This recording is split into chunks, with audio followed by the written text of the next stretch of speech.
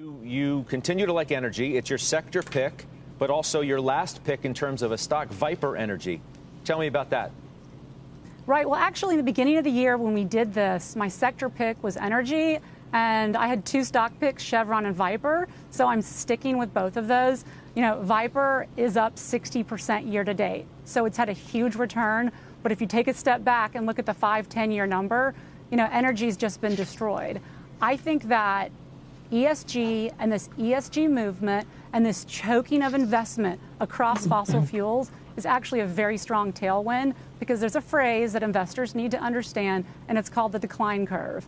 And if energy companies are not making long duration investments into new into new energy into new oil oil fields, then all of a sudden you will be supply constrained. And so I think this year you have a perfect storm between demand driven reopening across whether it's you know airplanes or individuals, but you're also going to be supply strained supply constrained more structurally. And I don't know anybody who five, ten years from now wants to get our oil from the countries that hate us the most. Mm. We have a wonderful commodity here in the US. These companies are being much more austere, and I think that there's still a good runway over the next six to 12 months in lots of energy names. I like Viper because it's a royalty play and it'll benefit from high, higher oil prices. Okay. Joe, I'm going to get you in just a second, but I want to bring in my big picture expert, uh, Kate Moore. All right, so two sector picks so far.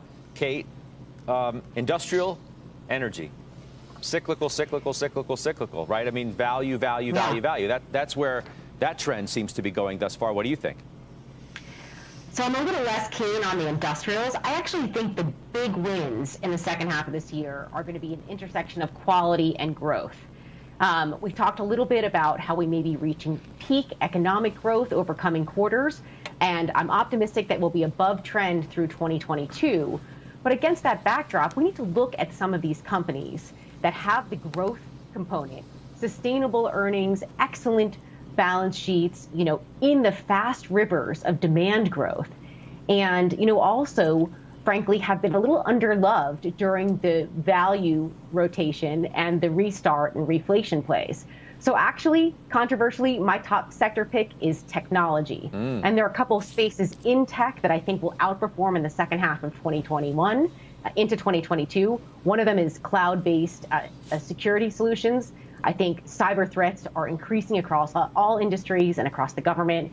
Spend in that space is the number one thing that says that CIOs and CTOs say is a priority this year and into next. I don't think that's going to dissipate.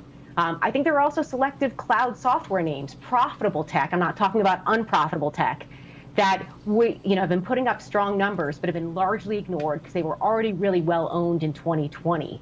Uh, I think there's room for rotation back in some of those names.